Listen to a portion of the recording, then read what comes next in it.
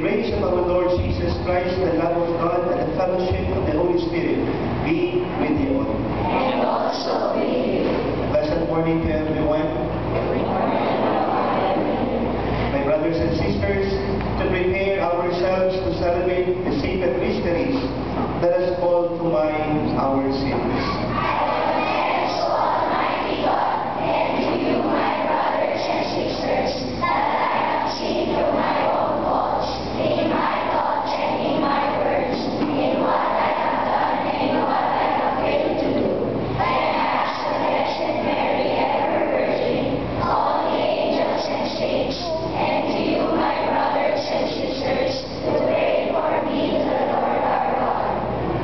Almighty God have mercy on us, forgive us our sins, and bring us to everlasting life. Amen.